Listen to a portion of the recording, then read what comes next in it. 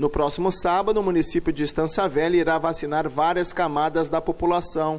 A campanha de multivacinação visa colocar em dia a caderneta de muitas crianças e adultos. Doses para vacinação contra a paralisia infantil para crianças menores de 5 anos de idade estarão disponíveis nas unidades básicas de saúde da cidade. A ação será realizada das 8 horas da manhã até 5 horas da tarde. O prefeito Valdir Dilkin relata a preocupação do município com a saúde.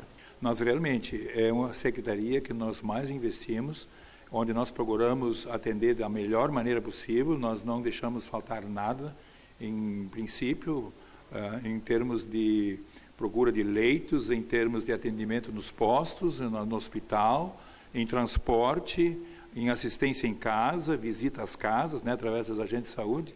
Então, isso realmente nos custa caro. Nós investimos realmente um valor elevado, mas, mas recompensa no final, porque a saúde né, faz com que a gente é, tenha uma qualidade de vida bem, bem melhor. Outro serviço que será oferecido é a atualização do cartão do Sistema Único de Saúde e aos usuários que não estão devidamente cadastrados no sistema informatizado da Secretaria Municipal de Saúde.